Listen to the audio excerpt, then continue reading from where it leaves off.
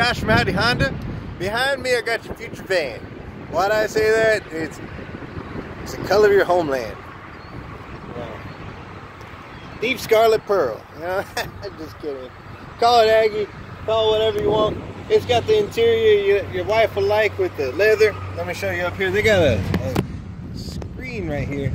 Keeps people from seeing your family. You know, for privacy or whatever reason.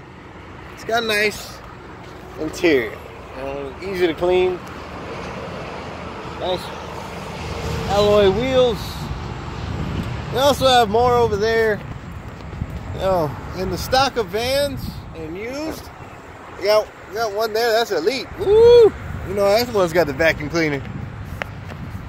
We got a few to choose from. We also got a lot of new ones.